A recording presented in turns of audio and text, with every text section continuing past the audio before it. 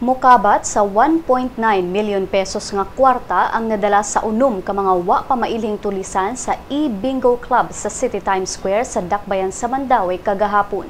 Sa CCTV footage, makita nga unang misulod ang duha ka mga lalaki ug nagpakaaron ingnong customer. Pipila ka minutos ang nakalabay, misulod ang laing duha ka mga lalaki samtang ang laing duha ka mga kauban niini didto lang ubos sa bingguhan nagatang sa motor ug maoy nahimong lookout.